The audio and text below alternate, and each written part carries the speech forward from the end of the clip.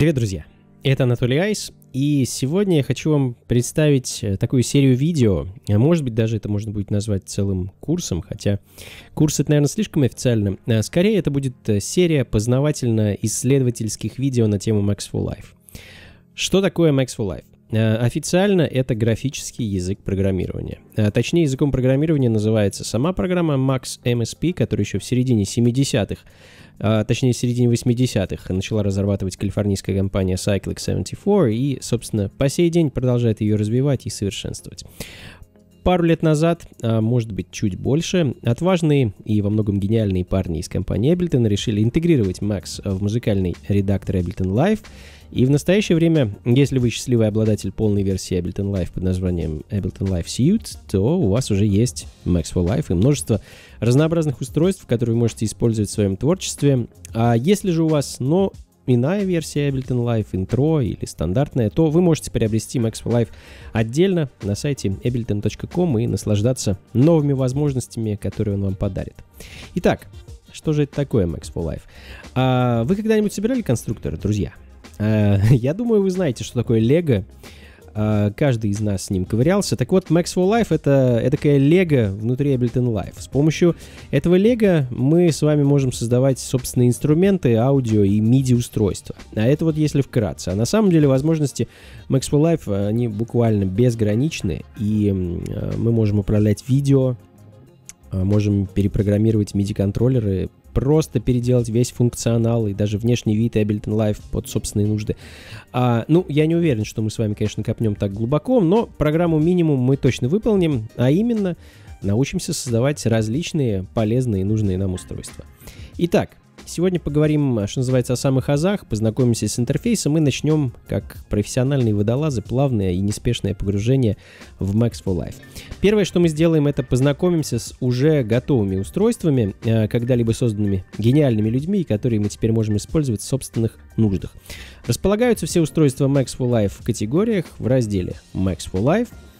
А, как я уже говорил, э, есть три варианта устройств. Это аудиоэффекты, инструменты и MIDI-эффекты. Использовать все эти устройства мы можем абсолютно таким же образом, как и любой другой инструмент или эффект внутри Ableton Live, просто взяв и перетащив нужное нам устройство на нужную нам аудио или MIDI-дорожку. Давайте заглянем в аудиоэффекты. Возьмем один из этих эффектов и э, перенесем их на аудиодорожку. А, устройство называется циклотрон. Это такой динамический фильтр, а, поведением которого мы можем управлять с помощью таких вот, а, ну, наверное, правильнее их назвать фейдеры. А, есть фейдеры, которые управляют частотой, есть те, что управляют резонансом. А плюс еще некоторое количество функций, включая громкость. А, давайте послушаем, как это устройство работает. У меня здесь есть уже загруженный драм-луп. Если мы его запустим не выключив циклотрон. Затем включив, мы можем посмотреть, как он работает.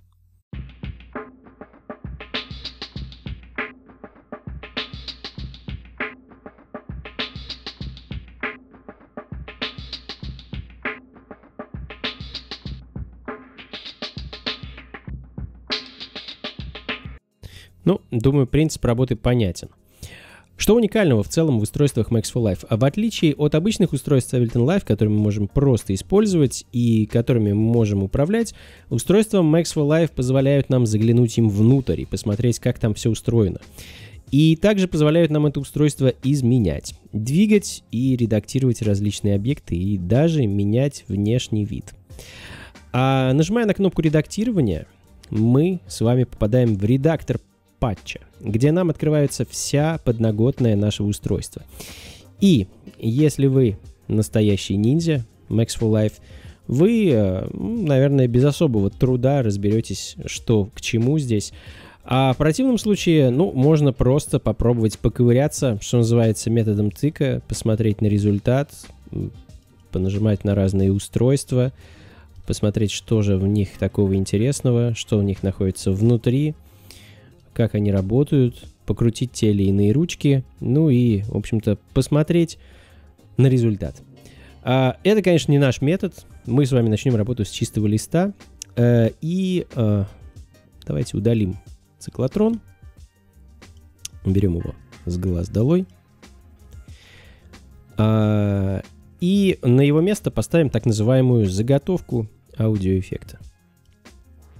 Мы с вами постараемся превратить эту заготовку в какое-нибудь, ну, пока довольно простое устройство.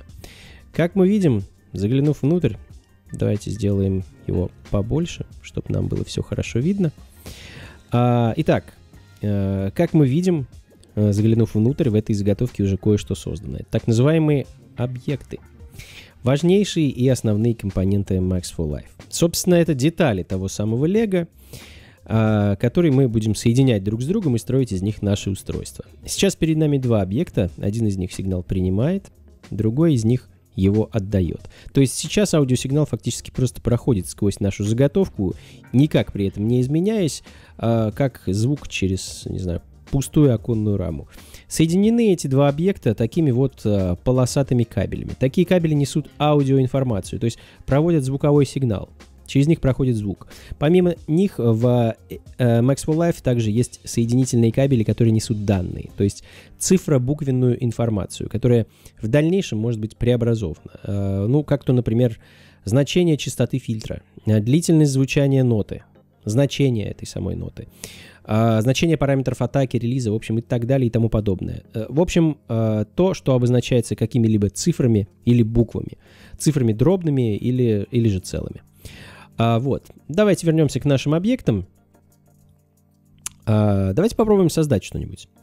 А, для создания нового объекта есть несколько способов. Первый, самый простой самый очевидный, это два раза кликнуть в любую область экрана редактирования и начать печатать название этого объекта. Как только мы напечатаем первую букву, Maxwell Life нам сразу же предложит целый список подсказок.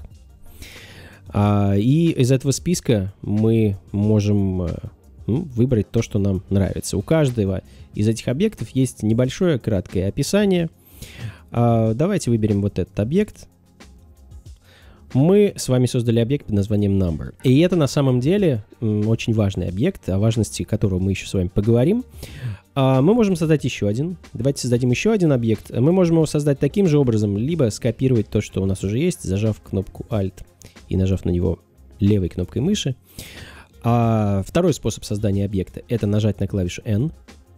В общем-то, это приведет к тому же результату. То есть фактически это сокращение от слова new. И здесь мы можем начать также набирать название нашего объекта. А плюс мы можем с вами обратиться вот в это левое меню. И здесь есть вкладка Objects. В ней все наши объекты, во-первых, разделены по категориям, а во-вторых, упорядочены по алфавиту.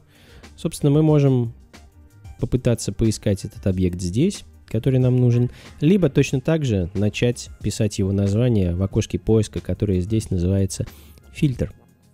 Начнем писать название этого объекта.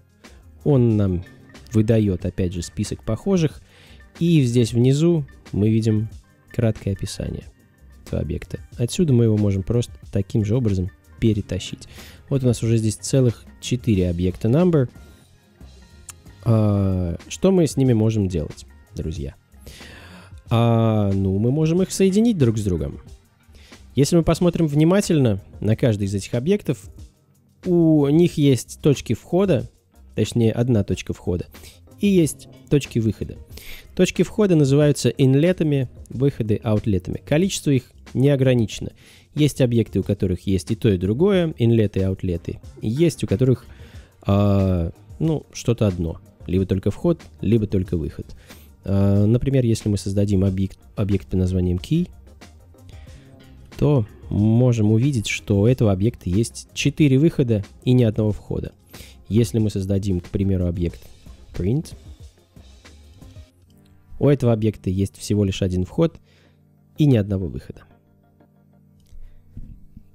Входы и выходы очень важные а, моменты. Таким образом, мы наши объекты соединяем. Беремся за выход одного объекта, и у нас появляется тот самый кабель, по которому идут данные, такая вот тонкая серая нить. Выход соединяем со входом. И что же у нас в итоге получается? Мы можем посмотреть, как у нас теперь наши два объекта друг с другом взаимодействуют. Для того, чтобы это взаимодействие проверить, нам нужно наш патч закрыть. Если мы взглянем вот сюда, в левый нижний угол, то увидим такой вот открытый замочек. А, для того, чтобы проверить наш патч в работе, мы этот замок должны закрыть. А быстрое сочетание клавиш для этого действия это Command-E. Запомните его, потому что открывать и закрывать патчи мы будем очень часто, мы будем очень часто проверять их работу. А теперь проверим, как наши объекты взаимодействуют. Если мы будем изменять численное значение в верхнем объекте, за этим численным значением будет абсолютно параллельно следовать и нижний объект. То есть выходной сигнал точнее сигнал выходит из этого объекта и приходит вот в этот. Если мы будем поступать наоборот, изменять численные значения в нижнем объекте, верхний никак на это не будет реагировать. А все потому, что у объектов нет взаимодействия между выходом и входом. Причем расположение их совершенно не важно. Если мы наши объекты расположим вот таким образом, все будет происходить точно так же.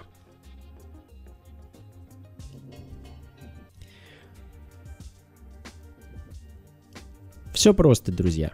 Давайте создадим еще один объект. Создадим графический объект.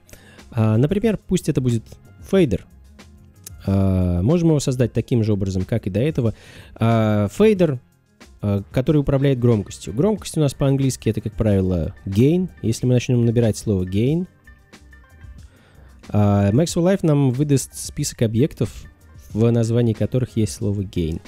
По краткому их описанию мы можем попробовать понять, какой же из объектов нам нужен. Ну, в данном конкретном случае нам нужен объект live.gain tilde. Создаем его, и у нас появляется фейдер. С, с помощью этого фейдера мы, в общем-то, можем управлять громкостью входящего сигнала, и э, мы можем его соединить с нашими входящими и выходящими объектами.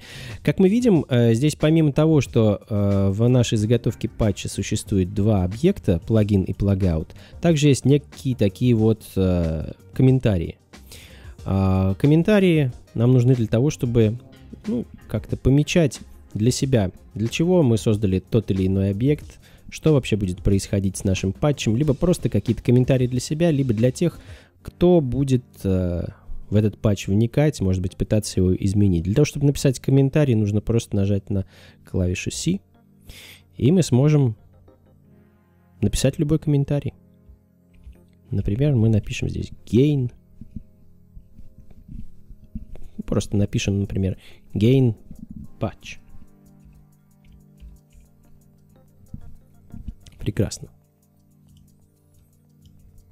Можем уменьшить его размер и переместить в нужное нам место.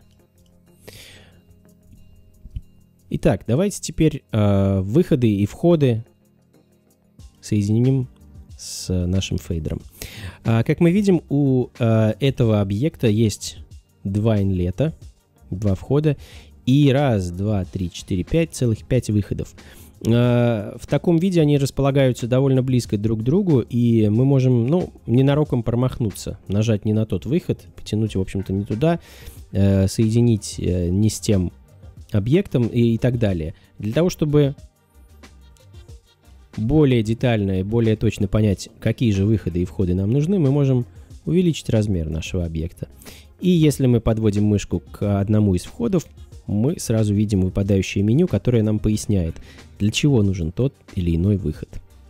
Иногда это, в общем-то, понятно и очевидно, иногда не очень. В данном конкретном случае нам нужны левый и правый канал, то есть здесь они обозначаются как канал 1 и канал 2.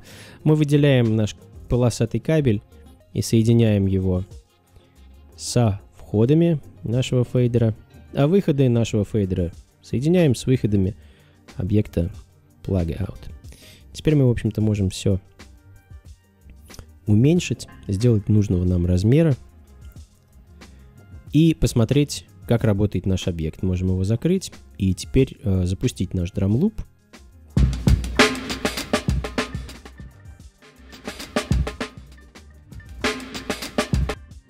Собственно, все таким вот простым образом работает. Это обычная, обычный фейдер, обычная регулировка громкости.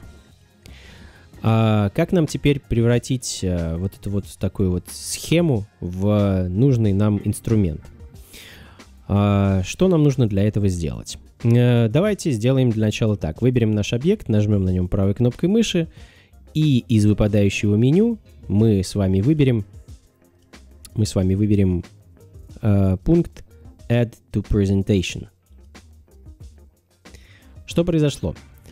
А, если мы уберем выделение с нашего фейдера, мы увидим, что он теперь окружен такой вот бордово-розово-красной полупрозрачной рамкой. Это означает, что теперь, если мы перейдем в режим презентации, который находится также вот здесь в нижнем меню, там же, где у нас находится наш замок, нажмем на Presentation Mode, то все остальные объекты и провода, и кабели исчезнут, и останется только наш Live Gain, который мы можем теперь перемещать туда, куда нам заблагорассудится. Но для того, чтобы наш э, фейдер был виден внутри Ableton в так называемом э, Device View в нижнем экране, в котором размещаются все наши устройства и эффекты, нам нужно сделать еще одно действие. Нам нужно еще раз нажать на правую кнопку и вызвать экран инспектора. Экран инспектора также очень важная вещь, и мы к нему будем еще обращаться не раз. В данном конкретном случае он нам нужен для того, чтобы дать понять нашему патчу, что мы хотим открывать его в презентации. Здесь у нас есть надпись Open in Presentation, мы ставим напротив нее крестик и видим, что у нас появилась такая вот горизонтальная черта внутри нашего патча.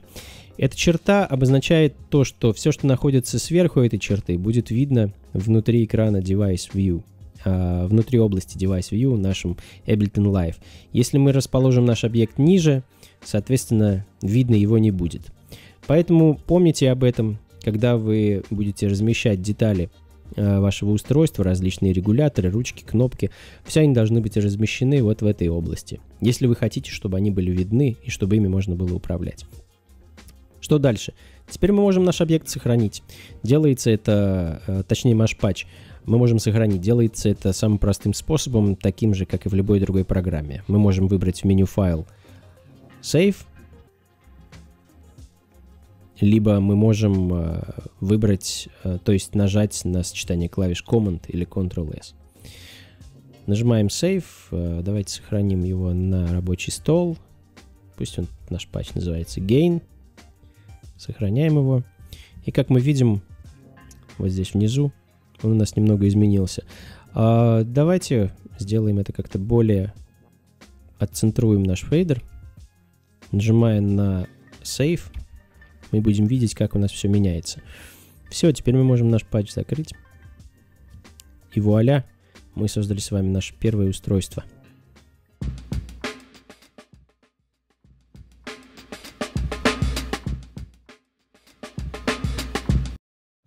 Вот так, друзья. Что я могу сказать?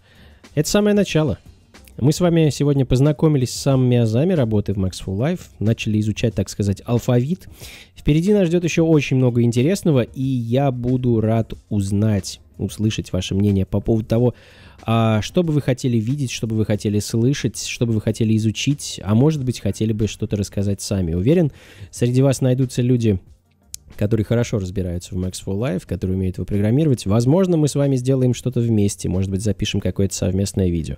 А, очень буду рад с вами общению, обратной связи, ну и так далее и тому подобное. Ставьте лайки, подписывайтесь на канал, ну и, конечно, приходите на танцы, друзья. Всем доброго, пока.